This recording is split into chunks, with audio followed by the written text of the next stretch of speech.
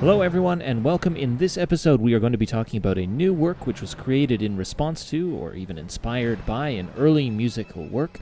That's Dido's Ghost, a British opera premiered in the summer of 2021, which continues the story of Henry Purcell's now famous work, Dido and Aeneas.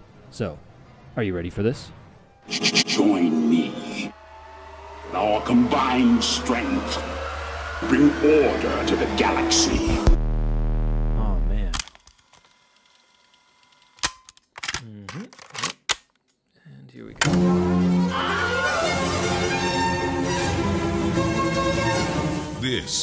The Early Music Podcast with your host, Andrew Burn. Brought to you by REMA, the Early Music Network.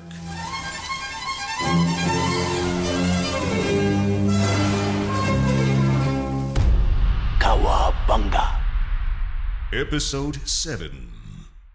Dido's Ghost was the brainchild of composer Errollyn Wallen and librettist Wesley Stace, and was co-commissioned by the Barbican, Buxton International Festival, Dunedin Consort, Edinburgh International Festival, Mahogany Opera, and the Philharmonia Baroque Orchestra and Chorale. The opera is intended as a sequel to Henry Purcell's Dido and Aeneas from 1688.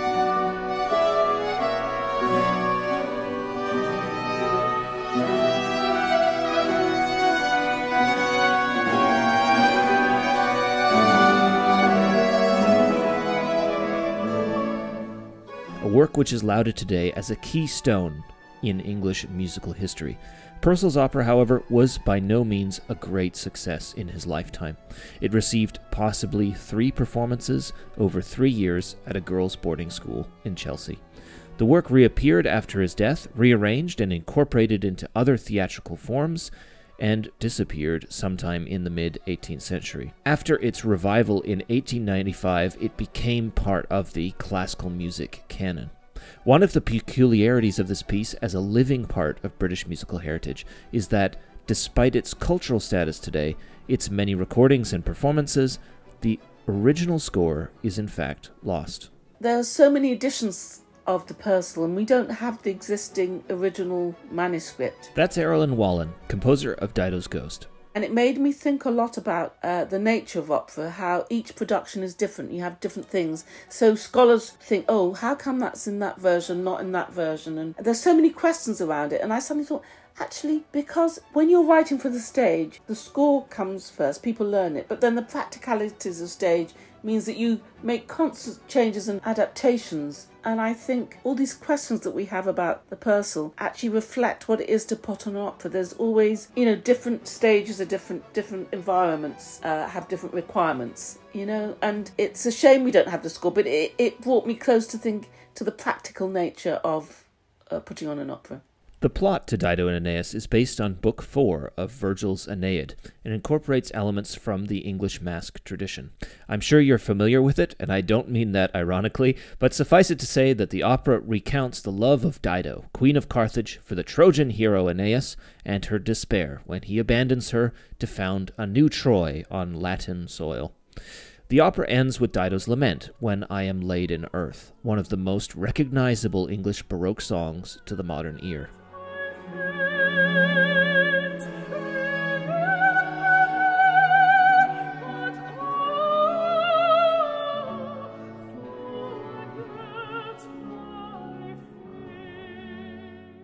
Wallen and Stace's new opera, Dido's Ghost, is, as already mentioned, a sequel. We've put the synopsis of the play on the webpage for this episode, the link to that is in the show notes, so I won't go into great detail. But an interesting characteristic of the interplay between new and old is built into the second act, where, after Dido's sister is welcomed to Aeneas's court, an entertainment is given, where Purcell's opera is performed as a sort of play within a play.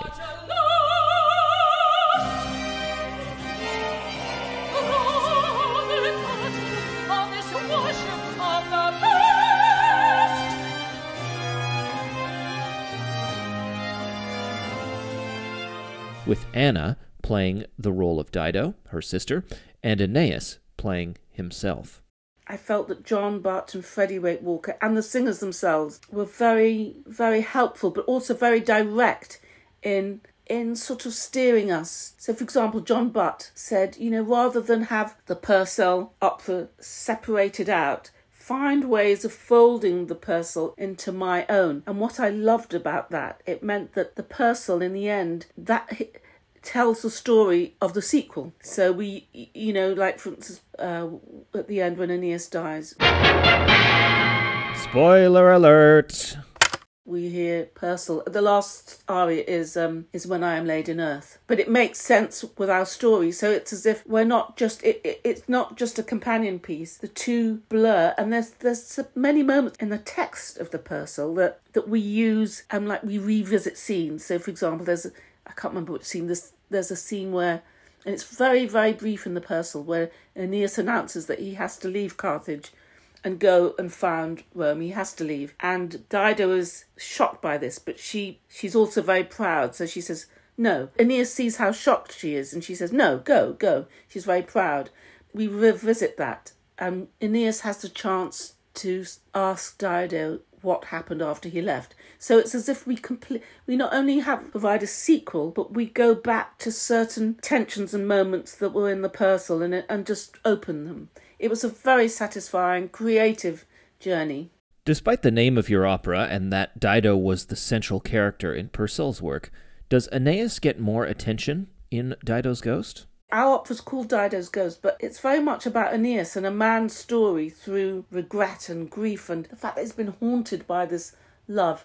A man, you know, towards the end of his life. He goes on, I'd say, the biggest journey in, in the work, and we understand his grief, which is it's greater than Dido's. He's a broken man at the end, but we are, but we understand him. And the performance by Matthew Brook is, I think, one of the best stage experience I've had. I, in the dress rehearsal where I heard the work and saw the work for the first time straight through, and every time it came to that moment, I was so sad. And I remained sad for months afterwards. And even now, I, I think about Aeneas and I'm really sad. But before I started to write this, I didn't realise the, the power of the Purcell to tell a new story. But what I feel is very modern about ours, it, it is exploring our Aeneas is very vulnerable. He has been this great hero, but you feel that he is he is examining himself and through meeting Anna trying to make amends for something he knew was the wrong thing to do. In composing this opera, did you feel as if you were part of a continuing tradition? Do you know, I, I felt very clearly that I was part of a tradition. And I think the tradition of, say, particularly writing stage works, you understand that opera is a very fluid form and so much of the creation of it is to do with necessity and when you're writing for the stage things are very untidy. You have to you have to have a stage instinct but you also have to work with quite simple elements to bring out characterizations. And so when i was looking at the Purcell to begin with i was very nervous because whenever i would read about uh, was doing my research and reading about this that i felt i was reading so much scholarly work which slightly put the work at a distance to me so i had to stop doing that and I had to delete, deal directly with the score and the notes and try imagine Henry Purcell uh, scratching the notes out on, on paper. And that's it. And then I felt I got very close to him, but also the elements of what, what goes into writing music. Writing music, you have an idea, but then you have to continue that idea. You have to use variation. You have to bring out the character of the words. You have to make characters uh, rich and you have to provide the atmosphere. So it was it was wonderful. I felt as if i was almost holding hands with him across centuries even though i'm from a completely different culture. But i also felt uh, it sounds a funny thing to say i felt i was the right person to do it. For example dido was written for very specific english you know english it's very stylized masque. And i was also bringing out the african elements and staging wise dido had to be black and also um well belinda was black as well. She doubles up occasionally as anna her sister. And just by seeing that on the stage that changed the whole dynamics of the theatre. But i realized if if it wasn't me. Somebody else may not have pushed for that because it wouldn't have occurred to them because Dido Aeneas has become this very stylized, very um, English and very, you know, it's a pale skinned opera. But that's not the story when you go back to the Virgil. Purcell's Dido and Aeneas was scored in four parts, which at its most basic would mean a small Baroque orchestra. Did Dido's Ghost differ in its instrumentation from the Purcell? I want I added electric bass guitar and I added some percussion, quite minimal percussion, but it does include drum kit. I actually had made, specially for it, a hand pan. A hand pan sounds a little bit like a, a very mellow steel pan. I'd composed for this before and I was very mesmerized by the sound. And then I used things like crotales cymbals, some hand percussion, so quite light, but it definitely adds this other dimension to the world. And that was for character reasons but it, it just actually worked very, very well, uh, and nothing seemed to jar. And there are moments when we just use, you know, the string, and we just. I, so basically, throughout the whole work, I felt my and my duty was to also to handle the textures of the work to make that underpin any dramatic emotional scenes. In composing for this opera, did your musical ideas come exclusively from engaging with the Purcell and with Wesley Stace's libretto after the project was greenlit, or were there other influences? So there's one aria that I'm particularly pleased with. I have to say the music for that came from years ago when I, I'd written a poem because I've long been obsessed with this character of Dido. Ever since I read, studied Latin, you know, as a kid, reading about Dido and Aeneas lit a spark in my mind, and so I didn't know I'd ever write an opera about it. But I had written this poem much later, and then I decided to write music, which is sort of based on the Purcell, but it has much more modern harmony. And uh, that song is called Of Crumpling Rocks.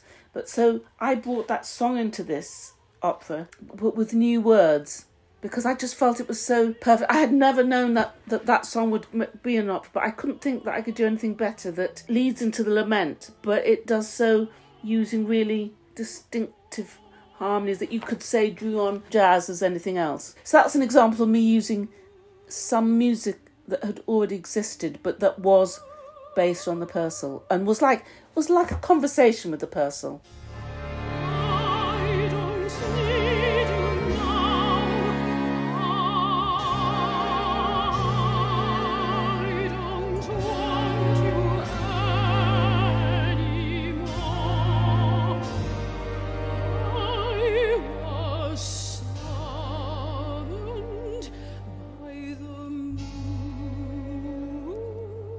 Another parallel that you draw with Purcell's opera is that Dido's Ghost also ends with the lament, When I Am Laid in Earth, except this time sung by the character of Aeneas, as you've said earlier in this interview. Would you like to tell us more about that decision?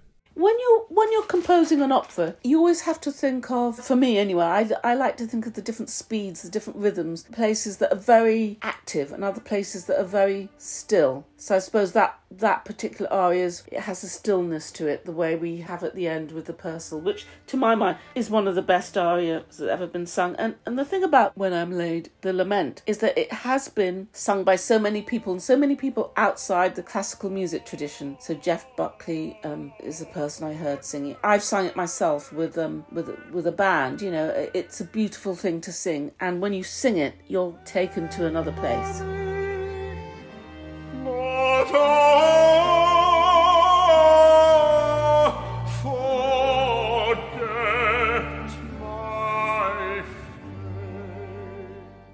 As we wrap up this interview, do you have any final words for our listeners?